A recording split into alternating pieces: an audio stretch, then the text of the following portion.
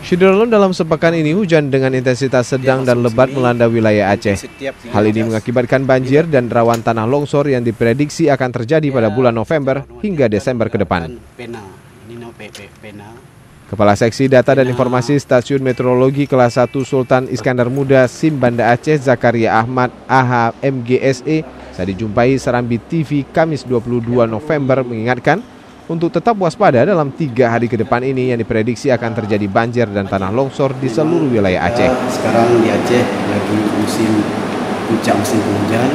Uh, ini mengartikan bahwa Aceh uh, akan ruang hujan. Uh, ini terjadi hampir seluruh Aceh, ya.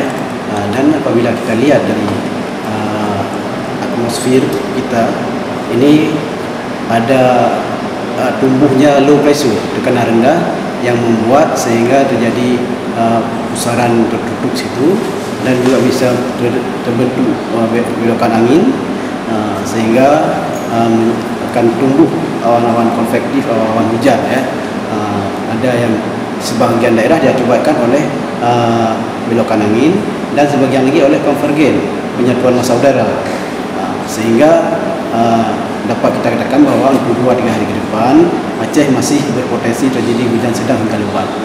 Sebagaimana saya sebutkan tadi bahawa kita sini masih dalam uh, masa apa puncak musim hujan itu tetap harus waspada dan kami tidak bisa menyebutkan satu persatu daerah kerana itu hampir semua ya berpotensi terjadi banjir. Kalau untuk di perkotaan itu potensi banjir diakibatkan oleh karena tutupnya uh, tanah resapan air yang di mana sudah banyak gedung-gedung dan juga jalan-jalan aspal sehingga uh, uh, ketika air hujan turun uh, dia tidak mencukupi lagi untuk drainase untuk mengalir air. Begitu juga untuk daerah daerah apa daerah bantaran sungai. Itu juga perlu diwaspada. Karena di daerah bantaran sungai itu dia lebih apa lebih rentan Kawasan yang berpotensi banjir dan longsor tersebut di antaranya pinggiran sungai saat terjadinya hujan di gunung yang mengakibatkan banjir kiriman.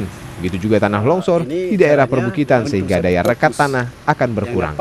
Dari Banda Aceh, Budi Fatria, Sarambi On TV.